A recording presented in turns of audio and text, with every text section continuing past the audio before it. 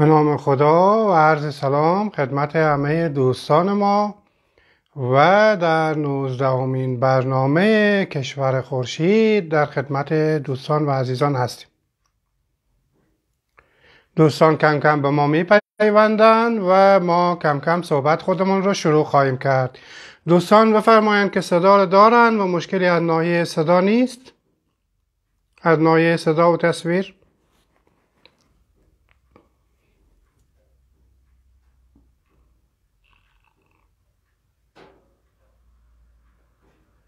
تا وقتی این تابلو رو کمی راست کنم که کجه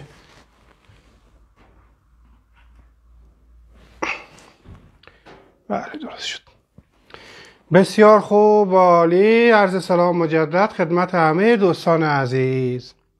ما در این برنامه می‌خواهیم بریم به بلخ. بلخ بامی ام البلاد شهرهای اسلامی. باکتری های قدیم. یکی از شهرهایی که از به نوعی می‌تونیم بگیم بزرگترین شهرها و مهمترین شهرهای این حوزه تمدنی هست. در این برنامه یک مقداری از بلخ قدیم صحبت خواهیم کرد و در برنامه بعد از بلخ امروز و مفاخر بلخ و البته شاید هم مثل برنامه های قبل به سه برنامه بکشه بحث ما در مورد بلخ چون ما درباره شهر بزرگی صحبت می‌کنیم. نه تنها شهر بلکه یک منطقه.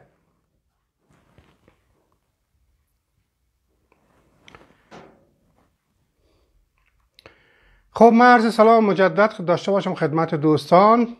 با نام و یاد خدا. نوزدهمین برنامه کشور خورشید را در خدمت شما هستیم با بحث بلخ.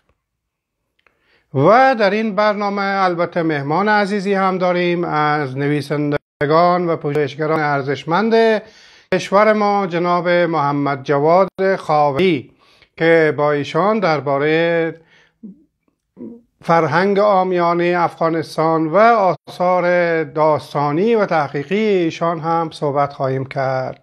بلخ و مزار شریف کنونی بحث ما هست در این یکی دو برنامه. کشور خورشید. بله سلام عرض می‌کنم خدمت میری جان میگن 20 سانتی متر برف باریده دیشب در لندن و ما هم سلام میگیم و امیدواریم که اینجا هم این اتفاق بیفته. نوشتن که تصویر کمی مخدوشه. همینطوریه برای همه دوستان یا نه؟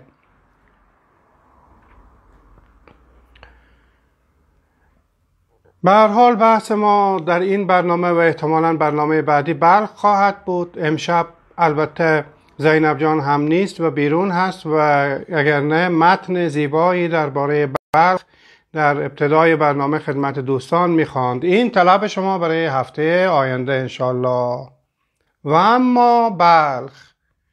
یکی از شهرهای بزرگ این قلمرو وسیع فرهنگی و زبانی که امروز در شمال افغانستان واقع شده در شمال افغانستان کنونی.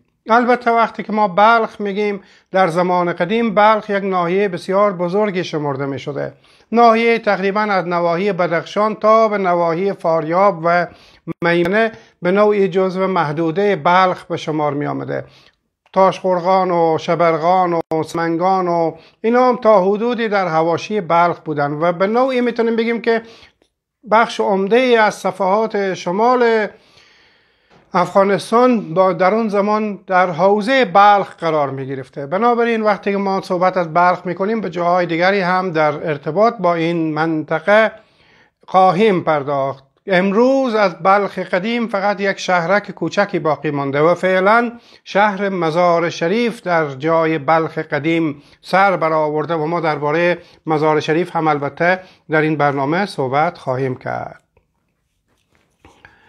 اما درباره بلخ بسیار افسانه ها روایت ها و نقل های متفاوت تاریخی در مورد این شهر وجود داره. بعضی ها به اغراق این شهر را دارای سابقه تمدنی بسیار قدیمتر از آن که هر تمدن دیگری که در این مناطق هست می‌شناسند و به اونجا سابقه تمدنی در حد تمدن بین النهرین میدن در خاور میانه منتها شواهد تاریخی و باستانشناسی این را اثبات نکرده. و از طرفی خب بعضی چیزهای دیگر کاملا اثبات شده و روشن هست. از سابقه تمدنی این شهر به عنوان یکی از مراکز عمده تمدن اسلامی در نواحی شمال افغانستان. ما در این برنامه به اون چیزی خواهیم پرداخت که مشهود و عینی و اثبات شده است. من کتاب ویرایش کردم از آقای شاه محمود نعیمی که از پژوهشگران خوب و ارزشمند ما هستند در حوزه جغرافیای تاریخی. این کتاب نامش هست افغانستان به روایتی دیگر. در اونجا آقای نعیمی مفصل درباره روایت های مختلف درباره سابقه و پیشینه مثلا 8000 ساله و 10000 ساله بلخ صحبت کرده و گفته که خیلی عقیده دارن که بلخ زادگاه و جایگاه زرتشت بوده پایتخت جمشید یا یما یا یمه پادشاه قدیم استورهی بوده و سابقه در حد مثلا بین النهرین داره و اینها. و آقای نعیمی نشان میده و میگه که تا به حال نشانه از این مقدار سابقه تاریخی که برگرده به حدود 6 هزار سال پیش و 8 هزار سال پیش به دست نیامده و در بلخ هم کاوشگرانی که جستجو کردن اون مقدار سابقه قدیم رو پیدا نکردن. ولی در جای نزدیک بلخ اتفاقا چیزهایی پیدا شد که به اون هم خواهیم پرداخت. به هر حال در اون کتاب مفصل ایشان نظرهای متفاوت درباره پیشینه تاریخی بلخ را اظهار کرده و به اون چیزهایی که مستند هست و به اون ما می‌تونیم اعتماد بکنیم بیان کرده که اینها میشه قابل اعتماد هست برای ما و همین مقداری هم که قابل اعتماد هست البته بسیار زیاد هست. یعنی به نظر نمی‌رسه در افغانستان شهری مثل بلخ و احیانا هرات و بامیان و قندهار و بعضی شهرهای از این قبیل این مقدار سابقه تاریخی داشته باشند. کابل بلخ اینا چند تا شهر هستن که سابقه تاریخی بیشتری دارن. بلخ در اوستا یکی از جاهایی که یعنی یکی از قدیمترین سندهایی که از بلخ نام می‌بره در اوستا هست. در اوستا اوستا بلخ چهارمین سرزمین و کشور نیکی میدانه و با عنوان بلخ زیبای افراشت درفش می‌شناسه. در اوستا شهرهایی که از نظر اوستا اهورا مزدا نسبت به اینها نظر ویژه‌ای داشته بیان شده و گفته شده این منطقه این شهر این شهر و از جمله اینا بلخ است که چهارمین مورد این سرزمین ها است. یعنی سابقه حداقل در حد اوستایی داره. در کتیبه های حخامنشی بلخ با عنوان باختریش آمده و هرودوت معرخ یونانی قدیم بلخ را باکتریا اسم گذاشته. یا باکتریا گفته. در محاورات های هندی به نام بلهیکا یا بهلیکا شمرده شده و در عین حال در این منطقه با عنوان باختی یا بخدی هم معروف بوده که به نظر می‌رسه این کلمه بخدی کم کم تغییر اسم یافته تغییر شکل یافته و به این بلخ معروف شده. این از اجمال بسیار مختصری از سابقه تاریخی بلخ که خود این باز می‌تونه تحقیقی باشه در حد چندین رساله و کتاب. بنده این مباحث تخصصی رو به دو دلیل خیلی بحث نمی کنم که در یک یک تواریخ قدیم بلخ چه آمده و هیوان تسانگ مثلا زائر چینی در این مورد چه گفته و اینها. به دو دلیل. یکی این که اصلا بنده کارشناس این امور نیستم. یعنی کارشناس باستانشناسی نیستم. کارشناس تاریخ جغرافی های تاریخی نیستم. در حد اطلاعات عمومی بیشتر اطلاع دارم از اینها اولا و دومی که در این برنامه هم هدف ما این نیست که بحث های بسیار تخصصی مطرح کنیم بلکه می‌خوایم یک مقدار بیشتر بشناسیم یک شناخت آفاقی به تعبیر نسبت به این کشورمان افغانستان پیدا کنیم. هم برای دوستان هموطن ما هم برای دوستان ایرانی. هرچند که هموطن وقتی ما میگیم همه ما رو در بر می‌گیره. دیگه به نوعی ما هموطنان این قلمرو وسیع زبانی هستیم و بسیاری از دوستان ما در همین محفل از دوستان ایرانی ما هستند به هر حال بحث رو ادامه بدیم. یک مقداری دوستان اشاره هایی کردن به مزار شریف. بله به مزار شریف هم خواهیم رسید و اتفاقا یکی از بحث های مهم در مورد این منطقه شهر مزار شریف هست که فعلا دیگه از بلخ بزرگترین شهری که فعلا وجود داره در اون منطقه همین مزار شریف هست. خب ما می گفتیم که کاوش های باستانشناسی زیادی شد. یعنی این رو عرض بکنم که از زمان امان الله خان وقتی که بعضی از معرخین ما آمدن و گفتن که بلخ سابقه بسیار قدیمی داره سابقه چند هزار هشت هزار ساله و ده هزار ساله و اینها و سابقه یونانی داره در زمان تمدن یونانی ها که آمدن اینجا اسکندر هجوم آورد و تمدن یونانی ها اینجا پای گرفته بود. نشانه هایی در بلخ دنبالش بودن که پیدا بکنن. بالاخره هر تمدنی باید چیزی از او باقی مانده باشه. یک بنای یک سکه یک ظرفی کوزه کاسه بالاخره چیزی از یک تمدن باقی میماند که در کاوش های باستانشناسی پیدا میشه. اون آثار اون تمدن و می‌دانیم که در اینجا مثلا تمدن فرض کنیم یونان باستان حضور داشته. چنان که در جاهایی از افغانستان هست. مثلا در لغمان هست در ننگرهار هست در حده هست در جاهایی هست. در زمان امان الله خان هیئت های فرانسوی آمدن و اینجا کاوش های زیادی کردن هیئت های خارجی باستانشناسی در خود شهر بلخ نواحی بلخ چیزی از اون آثار نیافتن منتها در نزدیکی بلخ یعنی در به در همون حوزه بلخ گستره بلخ جایی به نام آی خانوم یافتن که یکی از آثار تاریخی و باستانشناسی اون منطقه است که در نزدیک شهر تخار هست در شرق مزار شریف. این آی خانم یکی از جاهایی است که آثار تمدن یونانی در او پیدا شده و به نوعی از آثار باستانی مهم افغانستان این منطقه آی خانم حساب میشه. منتها در خود شهر نواحی بلخ کنونی کاوش های زیاد باستانشناسی شد و حتی باستانشناس ها تقریبا داشتن معیوس می شدن گفتن که این بلخی که همه سابقه گفته میشه داره. بالاخره در کاوش های باستانشناسی و چیزی به دست یک سکه یک طلایی یک مجسمه یک سرستونی یک سنگ سنگ نوشته چیزی بالاخره از اون زمانه ها باشه. چرا در خود بلخ نیست؟ هیچ چیزی. هرچه کاوش می‌کردن فقط خاک بود. منتها بعدا وقتی که اتفاقی در جایی به نام تلاتپه کارگری بیل می‌زد یک کاوش باستانشناسی البته اونجا سعی کردن انجام بدن حدس زدن که در جایی به نام تلاتپه در نزدیک شبرغان در شمال شبرغان باید یک چیزایی باشه. یک هیئت باستانشناسی فرانسوی با سرپرستی میسیو فوشه آمدن و اونجا کاوش کردن و به اونجا به یک گنجینه رسیدن. که به نوعی اون سابقه تمدنی را نشان میده اونجا. و نشان میده که حالا در خود شهر شهرک بلخ کنونی شاید آثار تاریخی قدیم پیدا نشده بسیار.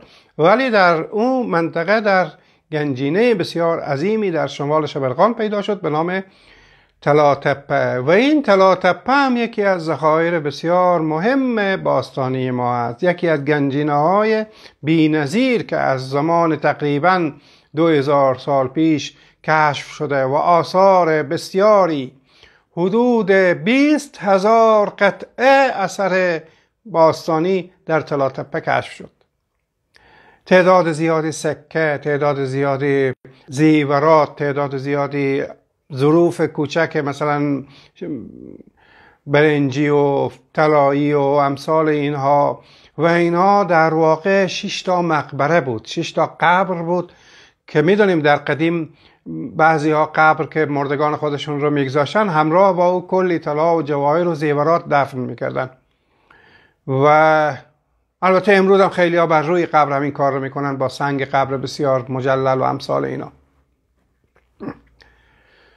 خب در این بین شش در این شش تا قبر یک قبرستانی که حدود شش تا قبر از او به دست آمد یک گنجینه بسیار عظیم پیدا شد به نام گنجینه تلاتپه که این گنجینه تا به امروز یکی از مهمترین آثار کشف شده باستانی افغانستان. هم ارزش مادی بسیار داره چون بسیار اینا از طلا هست.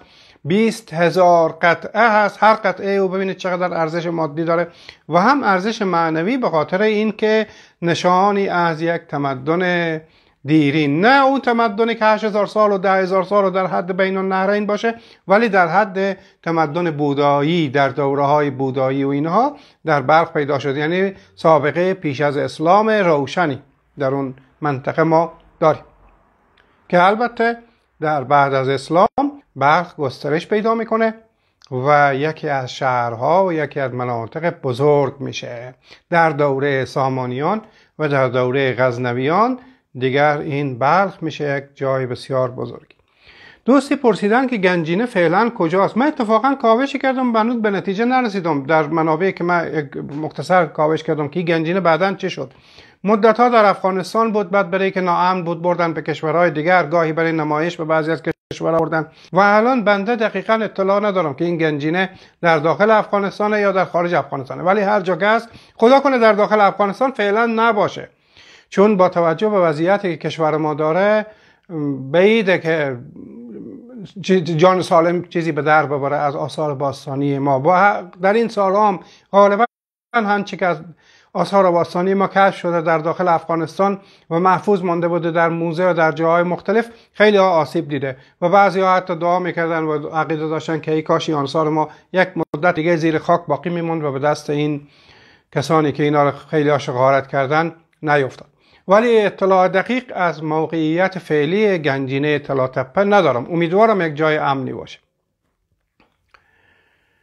چون دیگه در آثار باستانی که از افغانستان کشف شده فکر نکنم گنجینه ارزشمندتری از طلا تپه ما داشته باشیم. البته یک گنجینه بسیار مهم در حده داشتیم. موزه روباز حده که بسیاری از آثار دوره یونانی در اونجا بود. خیلی از اونها به غارت رفت. یکی از دوستان گفتن تا جایی که می‌دانم در افغانستانه. یکی از دوستانمون گفتن که بر خواستگاه و محل فرمانروایی گشتاس به اسفندیار است.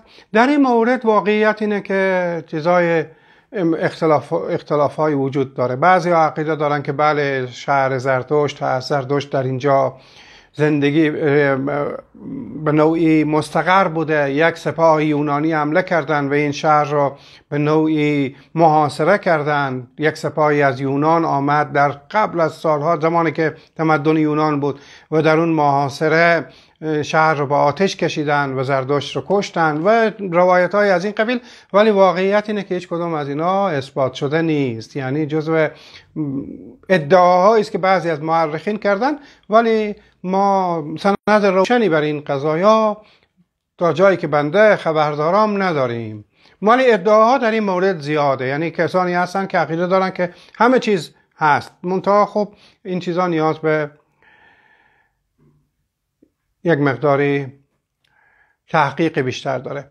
آنچنانی که آقای شاه محمود نعیمی در کتاب افغانستان به روایت دیگر بیان کرده بعضی از اینها نمی‌تونه اصالت و واقعیت داشته باشه و البته ما در افغانستان پژوهشگرانی هم داشتیم که آمدن روی این موضوع بسیار تمرکز کردن و از یک اشاره کوچکی که در در اوستا بوده از یک اشاره که در یک متن دیگه بوده آمدن یک چیزای تعیین کردن. گفتن که بله این شهر شهری بوده که جمشید در این پادشاهی می‌کرده.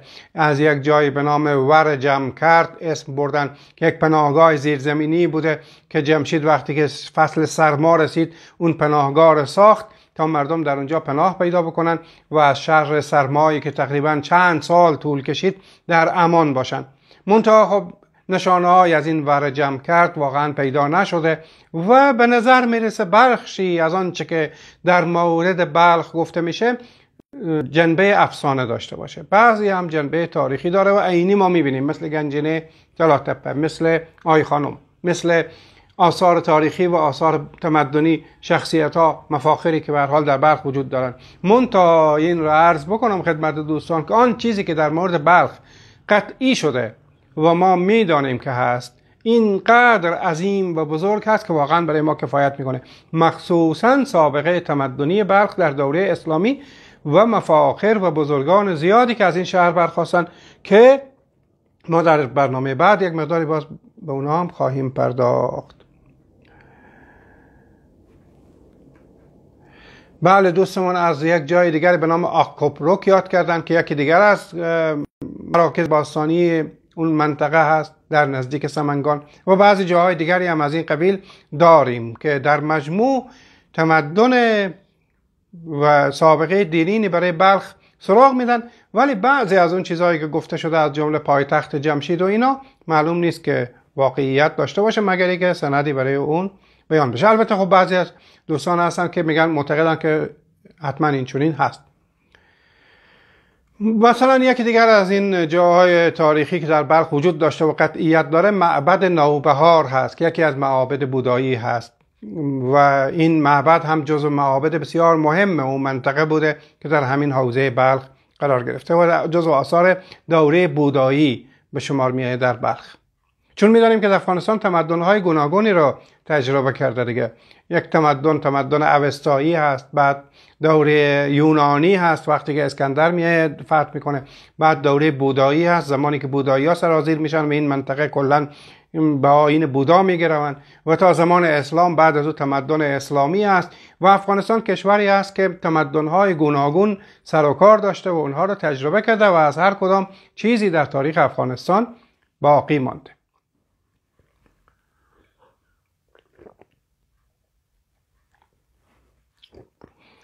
و اما یک کمی هم برگردیم به عصر حاضر و چند دقیقه درباره تاریخ بلخ در دوره اسلامی صحبت بکنیم و شهر مزار شریف.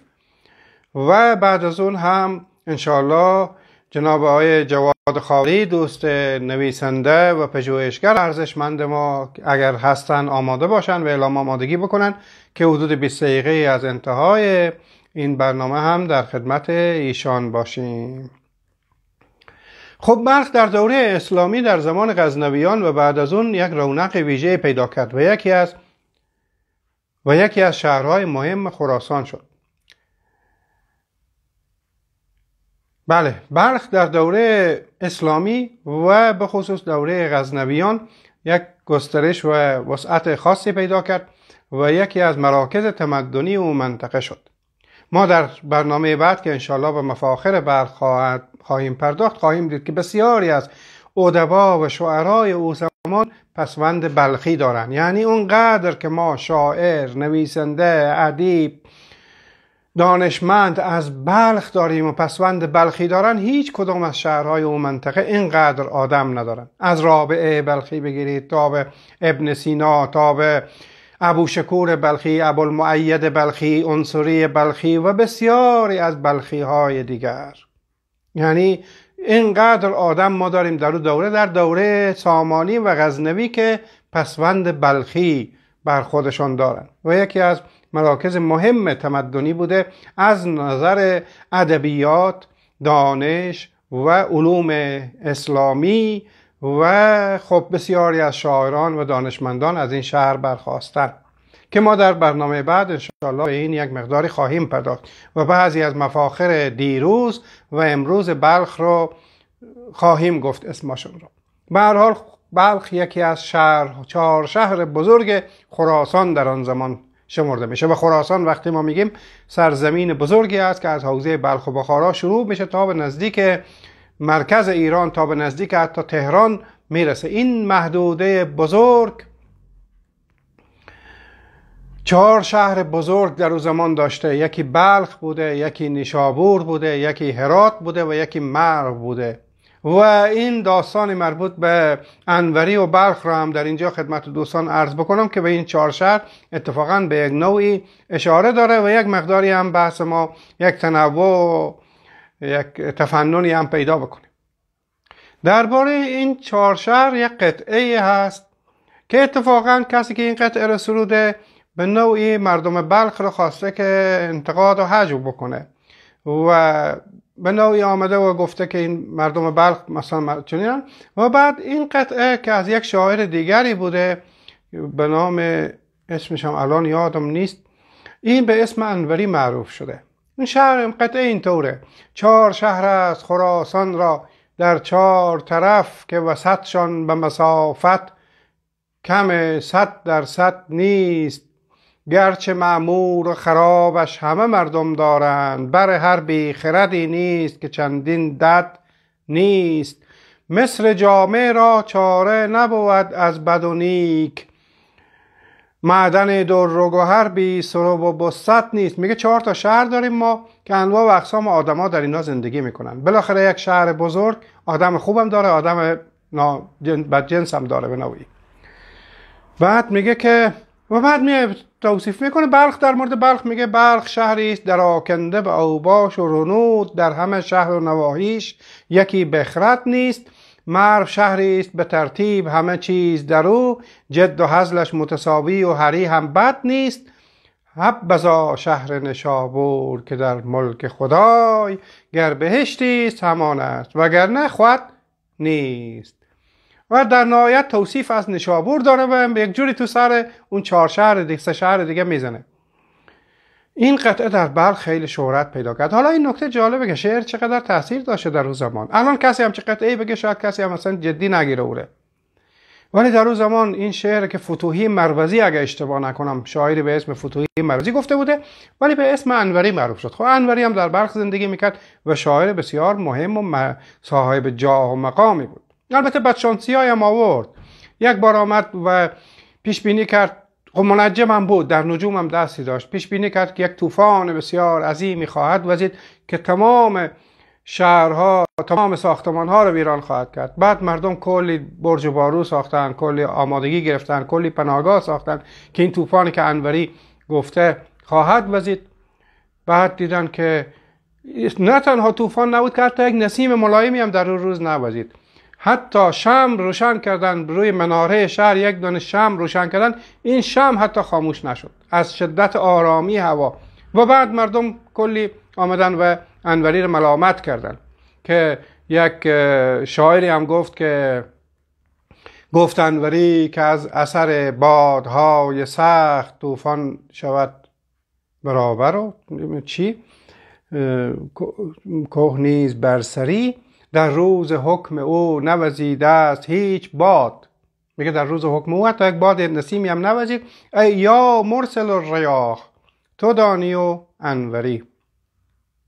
که جالبه صفت مرسل ریاح را در مورد خداوند میگه تو می‌دونی با با انوری چیکار کنی. گفت انوری که از اثر بادهای سخت ویران شود امارت و کوه نیز برسری یعنی کوه هم خراب میشه. در روز حکم او نوزیده است. هیچ باد یا مرسل ریاح تو دانی و انوری. به هر حال این یک بچانسی دیگه انوری هم این بود که این شعر به اسم او معروف شد و بعدی رو گرفتن دور شهر چرخوندن. کلی مثل این دزدا و مجرما اینا که تو شهر میچرخونن اینطوری بیچاره رو چرخوندن داخل شهر به خاطر این شعری که گفتن تو در حج به مردم بلخ گفتی. و بعد انوری آمد و یکی از قصاید بسیار با شکوه خودش رو درباره بلخ سرود. ای مسلمانان فغان از دور چرخ چنبری و از نفاق مهر و کید مشتری مصرع دومش یادم نیست و بعد آمد و توصیف کرد شهر بلخ را. و این قصیده در صفت توصیف شهر بلخ نشان میده چقدر مقدار مفاخر و دانشمندان داشته این بلخ. میگه خیر خیرم کرد صاحب تهمت در حج و بلخ. میگه تهمت دادن به حج و بلخ. تا همی گویند کافر نعمت آمد انوری. قبت الاسلام را حج وی مسلمانان که گفت کیام آزره که به قبت الاسلام را حج بگه؟ هاش لله بله گوید جهود خیبری. جهود خیبری هم حتی این کار رو نمی‌کنه آسمان ار طفل بودی چقدر این بیت با شکوه در وصف بلخ. آسمان ار طفل بودی بلخ کردی دایگیش. مکه داند کرد معمور جهان را مادری. افتخار خاندان مصطفی در بلخ و من کرده هم سلمانیان در خدمتش هم بوزری کو حمید الدین اگر خواهی که وقتی در دو لفظ مطلقا هرچان حمید است از صفتها بشمری که صحبت می‌کنه در مورد قاضی حمید الدین بلخی صاحب کتاب مهم مقامات حمیدی که یکی از متون اصلی و مهم ادبی ما است. و به این ترتیب نشان میده که اون شعر در مورد بلخ رو نگفته و چقدر شعر چه ستایشی هم از بلخ می‌کنه. خب بلخ در حوالی مغول تقریبا ویران شد. بسیاری از شهرهای افغانستان در جنگ مغول حمله مغول به خاک یکسان شد. بلخ بامیان هرات تا حدی بعضی از اینها ویران شد که حتی زندجانی در اینها باقی نماند. و بخشی از ویرانی که امروز در افغانستان هست حاصل همینه که تهاجم های بسیاری در مرور زمان از زمان اسکندر از زمان قبل از اون در زمان اخامنشیان در زمان جهانگشایان مختلفی آمدن و از اینجا به نوعی دیگه این منطقه رو شخم زدن. اسکندر آمده جنگیده و هر جنگی کلی عوارض داره. چنگیز آمده جنگیده مغولا بعد از اون قوزها بعد از اون باز توایف حکومتی ابدالی و دورانی و بارکزایی و نمی‌دونم اینا انگلیس ها بعد روس ها بعد تا حال حاضر.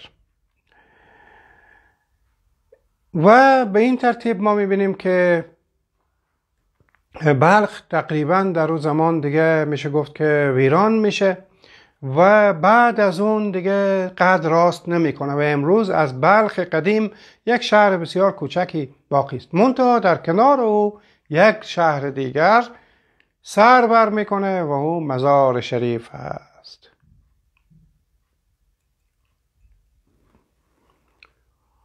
دوستان ما یک مقداری در حال بحث هستند در اینجا. ما در جلسات قبلم گفتم که میشه در برای جلسات برای این بحث ها فضای دیگری هم در نظر گرفت. میشه یک جلسه رومی در کلاب هاوسی در جای دوستان تشکیل بدن کسی همتش رو بکنه دعوت بکنن. من مازرم که اطلاع رسانی بکنم و بگم که مثلا درباره مفاخر و تاریخ قدیم و چالش هایی که افغانستان کجا بوده ایران کجا بوده نمی‌دونم این چی بوده ایام سال اینا اسم افغانستان چیه اسم ایران چیه ما چقدر تمدن داشت. شما چقدر این بحث زرگری و بعضی وقتا هم حتی به نظرم می‌رسه که جدال ها و چالش های بی خودی که ما گاهی داریم میشه اگه دوستان مایل هستن که این بحث ها رو ادامه بدن میشه اصلا یک مثلا یک فضایی در کلاب هاوس در جایی که میشه آدم های مختلف حرف بزنن. تشکیل بدن بنده هم حاضرم اطلاع رسانی بکنم. و بگم که بله فلان روم در کلاس هاوس کلاب هاوس هست مثلا در جای دیگه در هر جای دوست دارن و دوستان می‌تونن برن اون مناقشات رو در اونجا حل بکنن دعواشون رو برن اونجا انجام بدن. ما در اینجا می‌خوایم یک مقداری آشنا بشیم با منطقه با مفاخر با موقعیت با جغرافیا. نمی‌خوایم در اینجا بحث و چالش بکنیم. و این بحث هم که دوستانی دارن به نظرم یک مقداری خارج از آداب هست یک مقداری ذهن افراد رو پرت می‌کنه. مثل اینه که یک نفر داره حرف می‌زنه بعد چند نفر داره همون کلاس در جلسه ای که نشستن و یک نفر داره صحبت می‌کنه با هم در گوشی صحبت بکنم در گوشی هم نه که دلو هم دیگر صحبت بکنه بالاخره اگر کسانی هستن در این جمع که می‌خوان این صحبت ها رو گوش کنن خب اونا شاید خواسته باشن گوش کنن. نمی‌خوان که بیان و این چالش های اینجا رو دنبال بکنن. این چالش ها می‌تونه به موازی این در جای دیگه اتفاق بیفته و بنده هم حاضرم برای اطلاع رسانی و هر کاری بکنم. بگم فلان جدال و جنگ و چالش بر سر ایران افغانستان هست. برین فلانجا با هم دعواتون رو تصفیه بکنن دوستان. خب بریم به مزار شریف بپردازیم که بعدم در خدمت جناب خاوری شاید دوستش ارزشمند ما باشیم و وقت بسیار نگذره.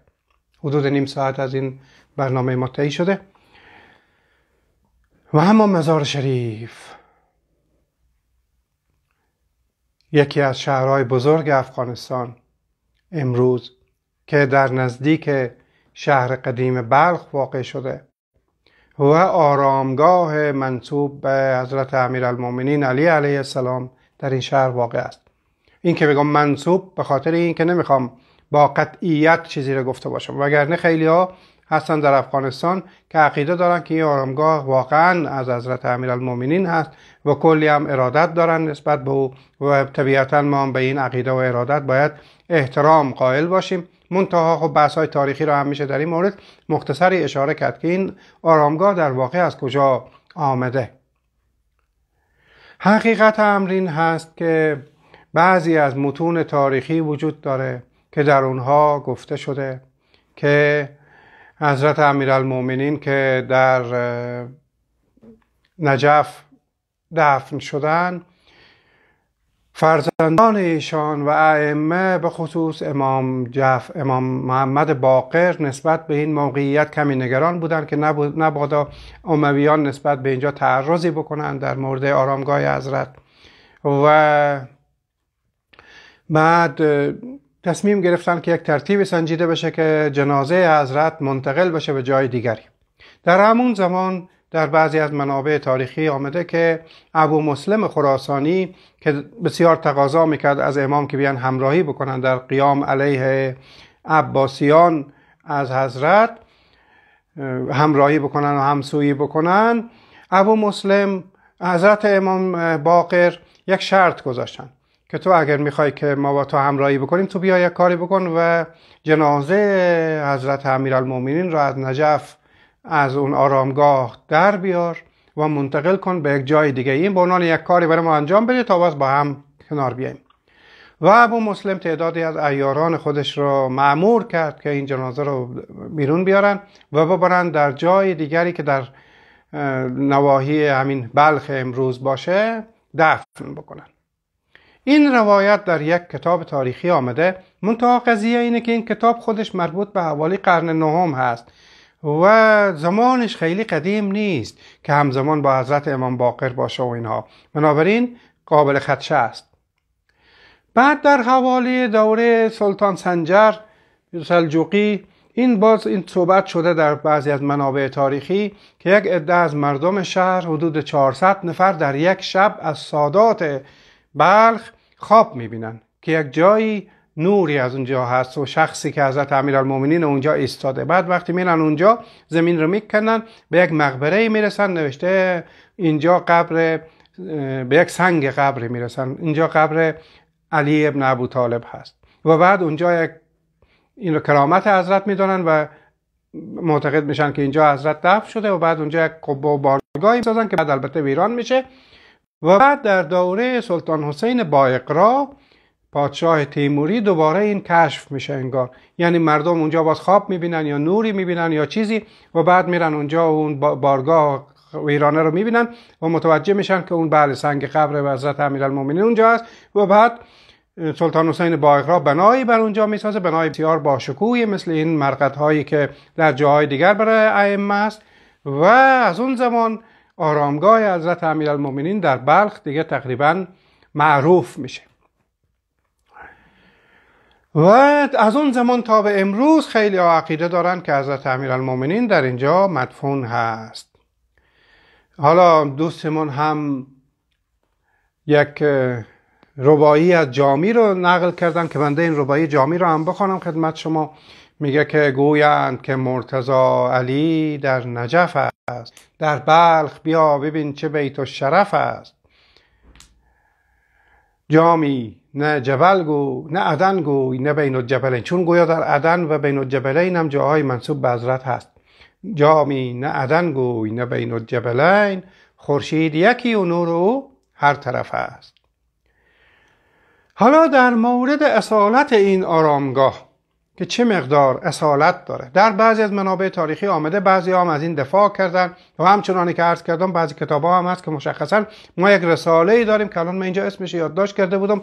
خدا کنه باشه یکی از دانشمندان قرن نهم یک رساله ای داره به نام آرامگاه حضرت امیرالمومنین در مزار شریف که متاسفانه من اسمش رو اینجا یادداشت کرده بودم ولی مثل که پاک شد یا نیست. که رساله ای داره در این مورد. کتابی داره. تمام این اقوال و آثار و مستندات رو آورده. منتها خب مسئله اینه که این رساله هم در قرن نهم نوشته شده و از اون زمان 800 سال فاصله است. 900 سال فاصله 800 سال فاصله است حدودا با اصل ماجرا. حداقل با زمانی که مربوط به ابو مسلم و انتقال جنازه باشه مثلا 700 سال 600 سال فاصله است.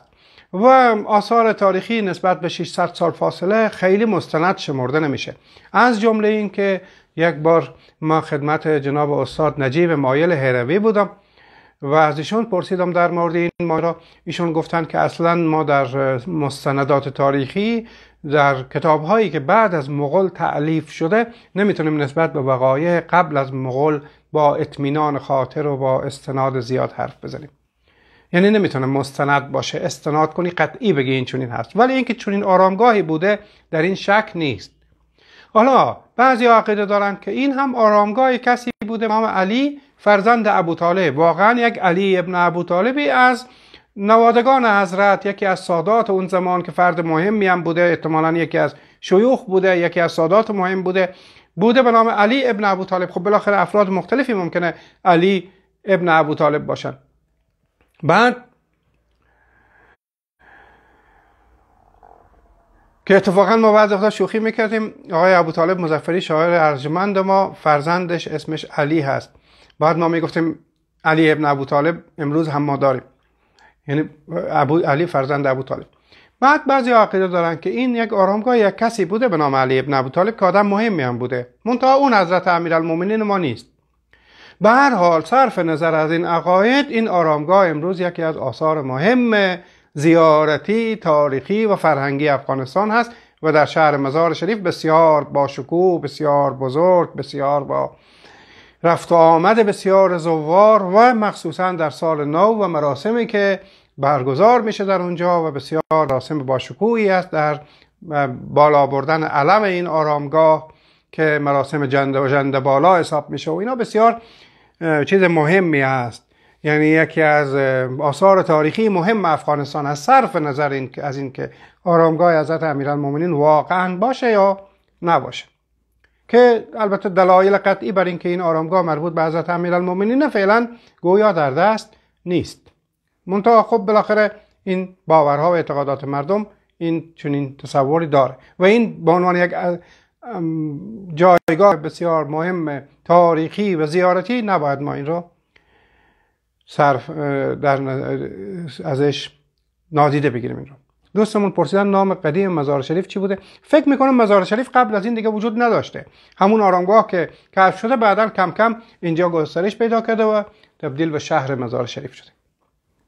خب ما دیگه صحبت این قسمت در مورد بلخ و مزار شریف رو ختم بکنم. بحث بلخ رو با درباره مفاخر بلخ مثل مولانا جلال الدین بلخی مثل ابوالمعید بلخی بسیاری از بلخی های دیگر و بلخی های امروز. کسانی که از مفاخر امروز بلخ هستند باز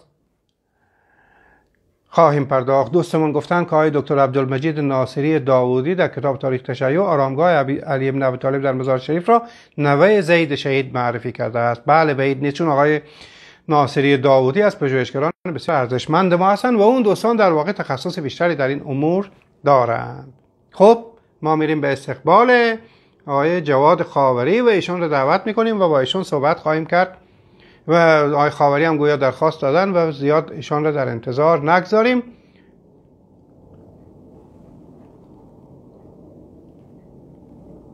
که نیستن گویا یکی دیگر از دوستان هستن که درخواست دادن و ما منتظر هستیم که آقای خاوری بزرگوار به ما بپیوندن. من نمی‌دونم الان ما دنبال می‌کنن یا نه.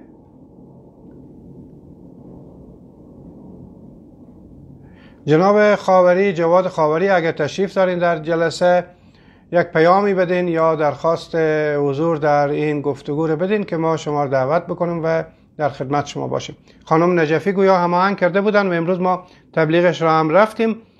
خانم سمیه سادات نجفی گرامی های برنامه را هماهنگ می‌کنن و در این تیزرهایی که پخش میشه هم بسیار فعال هستن درباره این برنامه و یکی از همراهان ما در این برنامه هستن. ایشون امان کرده بودن آقای خاوری رو منتها من الان نمی‌بینم ایشان را. اگر خانم نجفی پیام بدن یا جناب خاوری پیام بدن که ما الان می‌تونیم در خدمتشون باشیم یا نه؟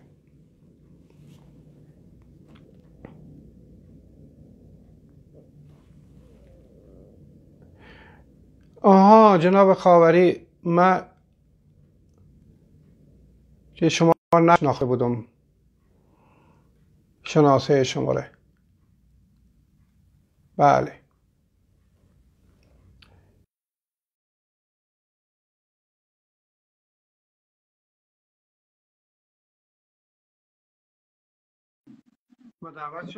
سلام سلام استاد کاظمی عزیز و همه دوستان حاضر در جلسه.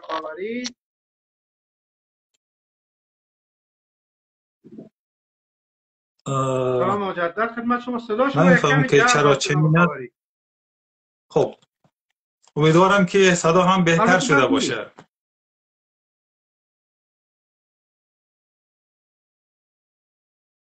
بله بله. بهتر شده ولی خیلی مطلوب نیست. حالا دیگه ما چاره نیست با همین صورت باید دنبال بکنیم. ما دیگه معمولا وقتی کسی از دوستان دعوت می‌کنم خیلی یک ساعت نمیم درباره شخص معرفی بکنم به خاطر اینکه ممکنه اون شخص بخوام گپای خود رو بشنویم بیشتر مهم باشه. برای ما و دوستان منتظر باشن و شخص رو در انتظار نگه نداریم. جناب جواد خاوری داستان نویس و پژوهشگر در حوزه فرهنگ آمیانه چند صاحب چندین داستان کوتاه چندین مجموعه داستان و چندین رمان که از ما درباره آثار خواهیم شنید و چندین تحقیق بسیار ارزشمند درباره به خصوص فرهنگ و آداب و رسوم و زبان فارسی منطقه هزارجات صاحب کتاب امثال کم مردم هزاره و ترانه های هزارگی و کتاب های دیگری. خواهش می‌کنم جناب استاد کازمی من هم خیلی خوشحال هستم که این فرصت نصیب شد که در خدمت شما به خصوص و دوستان عزیز باشم و چند دقیقه در مورد مسائل مورد نظر صحبت کنیم. از شما هم بسیار سپاسگزار هستم که با این برنامه خوب می‌تونید که در معرفی افغانستان و حوزه مشترک زبان فارسی اقدامات نیکی انجام دهید.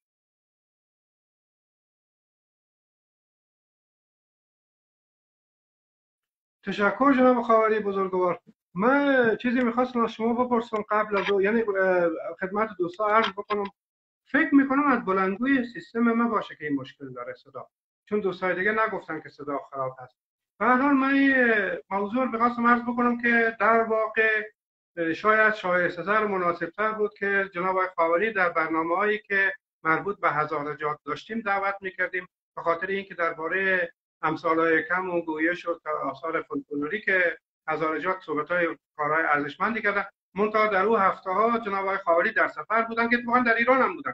منتها چون در در تردد بودن و زمان اصحایی کردن و الان که دوباره مستقر شدن ما در خدمتتون هستیم. هرچند زیاد فرقی نمی‌کنه. بالاخره برای ما این چونین نیست که ما اختصاص بدیم یک شخص و یک منطقه بلکه ما می‌خوایم صحبت های دوستان رو بشنویم از هر حالا این برنامه درباره بلخ هست ولی بحث های ما ممکنه بعضیاش به ارتباط به هزارجات و قوم هزاره هم پیدا بکنه هیچ ایرادی نداره و بالاخره ما مختلم میشماریم این فرصت رو این رو خواستم عرض بکنم که احتمالا بخشی از صحبت های ما مربوط ارتباطی با مسائل جلسات قبل هم خواهد. جناب خاوری ما در برنامه قبل در خدمت آقای محمدی شاری بودیم و ایشان درباره پیوند زبان و گویش هزارگی با زبان فارسی قدیم و اقوام هزاره در دوره های قدیم صحبت کردن و ما در یک برنامه دیگه هم یک مدار درباره آثار تاریخی هزارجات صحبت کردیم. شما در این مورد زیاد کار کردین هم در فرهنگ آمیانه و هم در آثار تاریخی هزارجات میشه از آثار خودتون را معرفی بکنید. ما درباره پیوندها یک مدار صحبت کردیم. و نمی‌خوایم زیاد بحث نظری بکنیم. می‌خوایم بیشتر با این آثار معرفی بشیم تا این دوستان بتونن برن و ببینن که خب مثلا وقتی ما میگیم که هزارجات دارای فرهنگ آمیانه بسیار قوی چه آثاری هست خب می‌تونیم یکی بگیم همسالای کمشون حالا شما می‌تونید در مورد کارهای خودتان در مورد هزاره و هزارجات بگین. وقتی اینکه خود شما می‌دونم که بامیان هستید و بالاخره یک تعلق خاطر محلی هم نسبت بله جناب آقای کاظمی عزیز. من همونطور که شما اشاره کردید در دو حوزه کار کردم. یکی حوزه فرهنگ عامه مردم هزاره یا به تعبیر خاصترش ادبیات شفاهی مردم هزاره و دیگر در حوزه داست فاصله کوتاهی نکته عرض می‌کنم من این گوشی من تبلت کلان مثال صدا یک مقدار جر می‌کنه. من میرم تا وقت یک به معروف هنسفری بیام. شما صحبت کنید ادامه بدین. من که میرم به این بله درسته. و من میرم برمیگردم. حوزه دیگری که کار کردم ادبیات داستانی بله، است. یعنی داستان کوتاه و رمان نوشتم. در حوزه ادبیات شفاهی مردم هزاره باز ما در سه حوزه به طور متمرکز کار کردم. یکی قصه های آمیانه مردم هزاره که این قصه ها در دو جلد گردآوری و انتشار یافته است. یعنی من به سراغ به طور تحقیق میدانی و سراغ قصهگوها و مردم عادی هزارجات رفتم و قصه ها و افسانه های اونها را شنیدم. اینها را انتخاب گزینش بازنویسی و در مجموعه های تنظیم کردم و به صورت کتاب منتشر شده که یکی از اونها به نام پشت کوه قاف است و دیگری قصه های هزاره های افغانستان حوزه دومی که در زمینه ادبیات شفاهی مردم هزاره یا به طور کلی فولکلور مردم هزاره من کار کرده هم امثال و حکم یا ضرب المثل ها هست. ضرب المثل ها یا امثال حکم را هم همینطور مستقیما از مردم شنیدم اینا را گردآوری کردم جستجو کردم سالهای سال. و بعد از این که اینها گردآوری شد کارهای لازم روی ضرب المثل ها انجام شد. مثلا اینها گزینش شد آوانگاری شد به صورت فنوتیپ و مورد کاربرد اینها ذکر شد. و نظایر این ضرب المثل ها در اشعار شاعران پارسی زبان چه کهن چه معاصر و همینطور نظایر اینها تا جایی که من اطلاع داشتم در زبان محاوره مردم هرات و مردم کابل هم آمده. این دومین بخشی از کار من در حوزه ادبیات شفاهی مردم هزاره و سومین بخشش هم ترانه های مردم هزاره بود. یعنی من دو بیتی های عاشقانه و تا حدود غیر عاشقانه یعنی دو بیتی های اجتماعی مردم هزاره رو گردآوری کردم. اینها آوانگاری شد و لغاتشان لغاتی که فهمیدنش دشوار بود اینها توضیح داده شد و در یک مجموعه به نام دوبیتی های آمیانه هزارگی منتشر شد. البته یک کار دیگه هم در حوزه فرهنگ مردم هزاره دارم که مختص ولایت بامیان است. یعنی من یک تحقیق کردم در مورد آثار باستانی و پدیده های طبیعی شگفت ولایت بامیان که هم از لحاظ تاریخی و از لحاظ عینی اینها بررسی شده و هم از لحاظ استورهی افسانه‌ای و باوری که مردم نسبت به این آثار داشتند مثلا الان قبل از این گفتگو صحبت از بلخ بود و ما دیدیم که بلخ یک جایگاه تاریخی می‌تونه داشته باشه و یک جایگاه اسطوره‌ای می‌تونه داشته باشه. اینی که مثلا گشتاس در بلخ سلطنت می‌کرده و اسفندیار فرزند گشتاس برای ترویج دین زردشتی مبارزه کرده یا از بلخ حرکت کرده آمده زابل تا با رستم بجنگه. خب اینها اون بخش اسطوره‌ای این منطقه است. بامیان هم همینطور است. یعنی یک بخش عینی دارد که بخش تاریخی دارد. که ما می‌تونیم در کتاب های تاریخ ردش بگیریم و پیگیری کنیم و یک بخش اسطوره‌ای داره که در باور و در اعتقادات مردم میشه او را جستجو کرد. مثلا بند امیر شاید یک سلسله حوزچه های طبیعی باشه. از لحاظ زمین شناسی و از لحاظ واقعی جزی نباشه. اما این بند امیر یک رویه و یک جنبه اسطوره‌ای یا اعتقادی یا افسانه‌ای هم داره و اون این است که این بند امیر توسط حضرت علی ابن ابی طالب این بندها بسته شده و یک داستان و یک ماجرای خیلی جالب پشت سر این نهفته است. این یک بخشی از کار من است و بخش دیگر کار من همونطور که عرض کردم ادبیات داستانی هست که در این حوزه من دو مجموعه داستان کوتاه انتشار دادم. یک مجموعه به نام گل سرخ دلفکار است و یک مجموعه دیگر به نام مرگ مفاجات و دو رمان یکیش تحت عنوان تلسمات است و دیگری بود و نبود. این مجموعه کارهای من است تا کنون منتشر شده.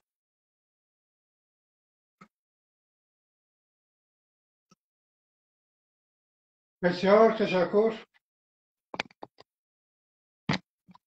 بسیار تشکر جناب خاوری. توضیحات خیلی خوب و مکفی دادن و ما یک مقداری هم درباره سابقه فعالیت های شما در حوزه مطبوعات و رسانه ها و کارهایی که در مسجد داری اینا کردین هم دوستان ما قصه بکنین از اینا. چون البته من یک شما خودم بگم خدمت دوستان که آقای خاوری از دوستان دیرین ما هستند در حوزه فعالیت های ادبی در بین مهاجرین در ایران.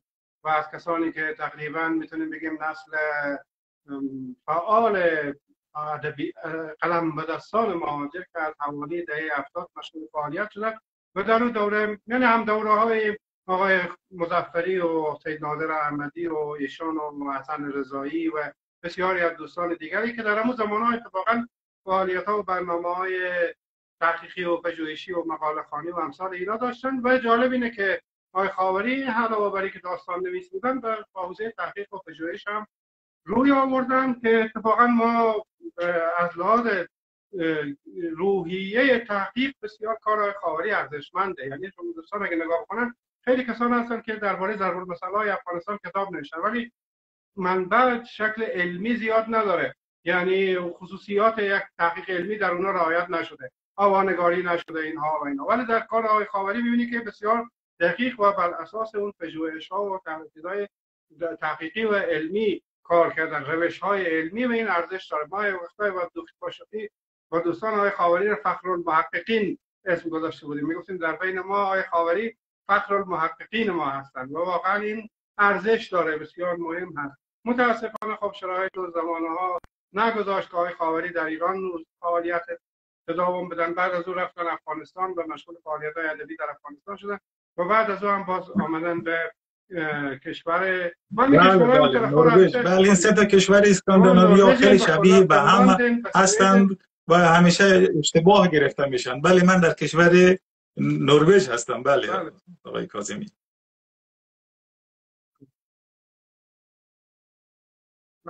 کمی می‌خوام این فعالی... سابقه فعالیت خواهد از زمان مشهد تا به نروژ رو به ما کمی خیلی کوتاه قصه بکنید که با همین قصه شما از فعالیت ها و زندگی بله جناب آقای کاظمی همونطوری که شما هم اشاره کردید یکی از فعالیت هایی که من و شما به طور مشترک انجام دادیم و فکر می‌کنم که بسیار بسیار ارزشمند است و از جهات مختلف میشه که در مورد این فعالیت ها صحبت کرد.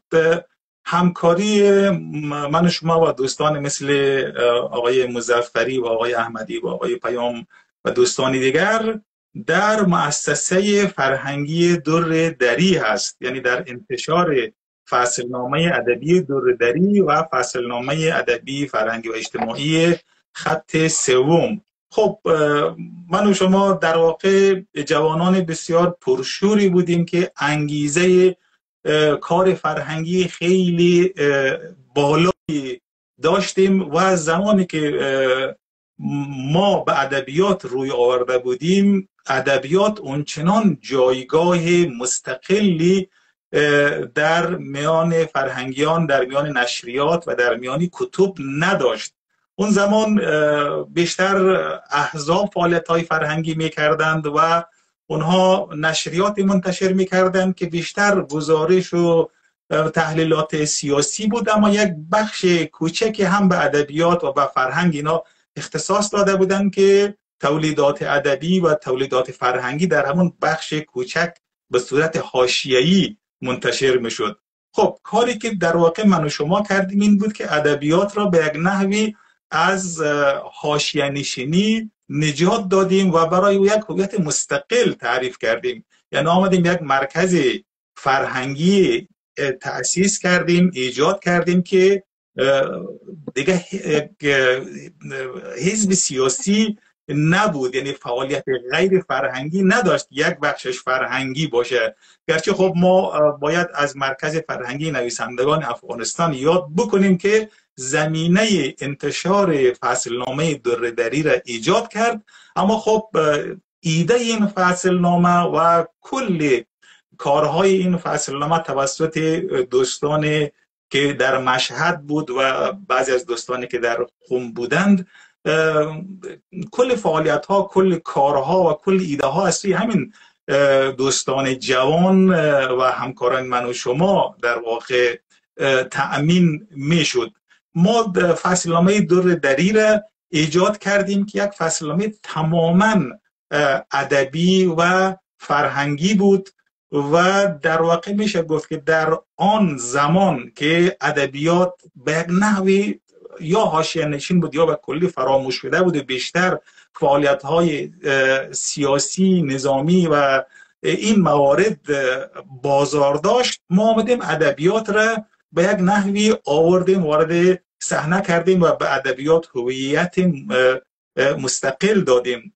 و این باعث شد که دفتر مجله دوردری علاوه بر این که فصل نامه مستقل ادبی منتشر می کرد یک مرکزی برای رفت و آمد اهل ادب اهل شعر اهل داستان شود و ما در این مرکز جلسات نقد و بررسی جلسات آموزش شعر و داستان راه انداختیم و جوانان علاقمند به ادبیات در این جلسات و در این دفتر رفت آمد می‌کردند. علاوه بر اینی که ادبیات میآموختند به یک نحوی می شود گفت که تربیت می شدند یعنی ما اینها را فرهنگی تربیت می کردیم ما اینها را یک جهت مدرن می‌دادیم. نوع رفتاری که ما به اینها می کردیم و نوع فضایی که در دفتر دور دری و بین اعضای هیئت تحریه دور دری حاکم بود یک رفتاری بود که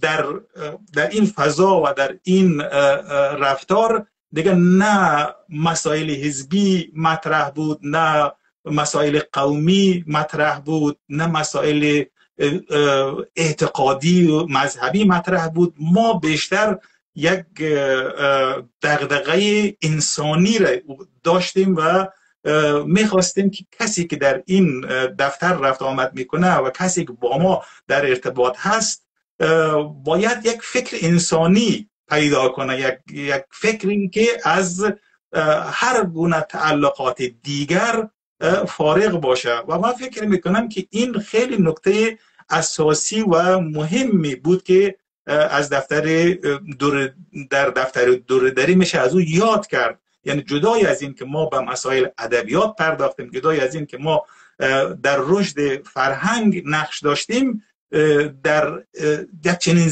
به وجود آوردن یک چنین ذهنیتی و تربیت یک نسلی که برای آن نسل اونچه که مهم باشه مسائل ملی مهم باشه مسائل انسانی مهم باشه در این قسمت ما ما فکر می‌کنم که نقش بسیار اساسی داشتیم و ما فکر می‌کنیم که این دستاورد می‌تونه که پهلو بزنه به دستاورد ادبی که ما در مجله دور دری و بعد اون در مجله خط سوم داشتیم. این نکته هم اشاره کنم که در فعالیت مطبوعاتی که ما داشتیم فعالیتمان کلا داوطلبانه بود. یعنی ما با عنوان اعضای هیئت تحریریه با عنوان کارمندان این مؤسسه یا این فصل نامه واقعا نه چشم داشته حقوق مادی داشتیم نه امکان تأمین حقوق مادی فراهم بود. ما درآمد زندگی من از هر جایی که بود بود در دفتر دوردری در مجلات دوردری در مجلات خط سوم. فقط داوطلبانه با انگیزه اینی که ادبیات رشد کنه و با انگیزه این که یک فرهنگ مدارا و تساهل و یک روحیه ملی گرایانه و انسانی حاکم شود کار می‌کردیم و از این جهت برای شخص من کار کردن در مؤسسه دوردری که فکر می‌کنم بیش از 15 سال طول کشید یک نقطه روشن و قابل افتخار است.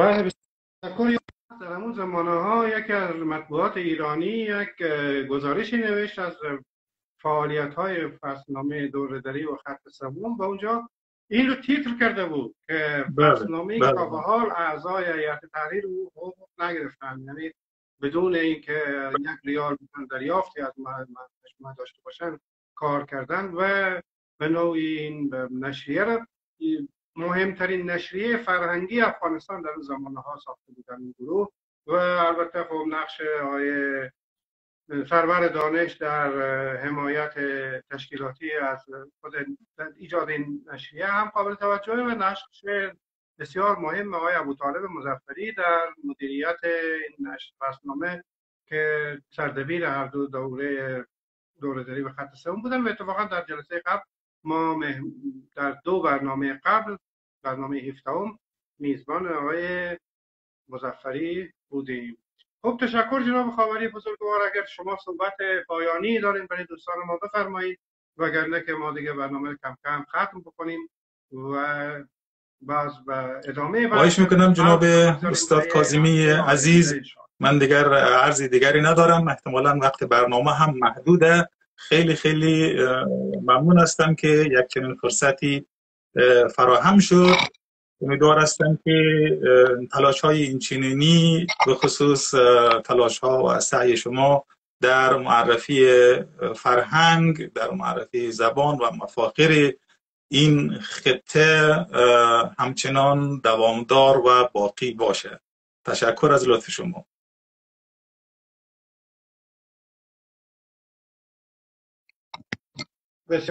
خوب ما انشاءالله در ادامه برنامه با در فرصت ها و موقعیت های دیگری هم بتونیم از حضور شما و دوستان دیگر در این برنامه استفاده بکنیم.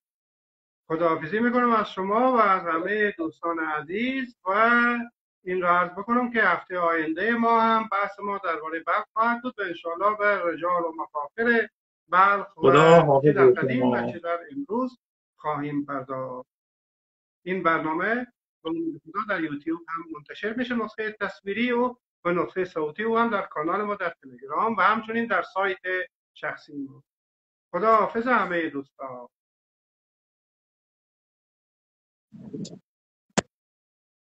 خب آقای خاوری شما باید فکر کنم از اون طرف قطع کنید چون من اینجا بلد نیستم تشکر می‌کنم مجدد از همه عزیزانی که در برنامه بودن. و از جناب محمد جواد خاوری ارجمند. تشکر از محبت و لطف دوستان. خانم نجفی اشاره می‌کنند که انشالله سید سکندر حسینی مهمان ما خواهد بود در برنامه بعد که اتفاقا از شاعران بسیار خوبه بلخ امروز است. و چه انتخاب خوبی هم است. چون ما در برنامه بعد خواهیم پرداخت به چهره ها و رجال و مفاخر ادبی بلخ و یکی از اینا بود در عصر امروز ما از شاعران خوب ما آقای سید سکندر حسینی که بسیار فعال هست در این حوزه. و انشالله که هفته آینده مهمان ما آقای سید سکندر عزیز باشید خدا حافظ همه دوستان عزیز.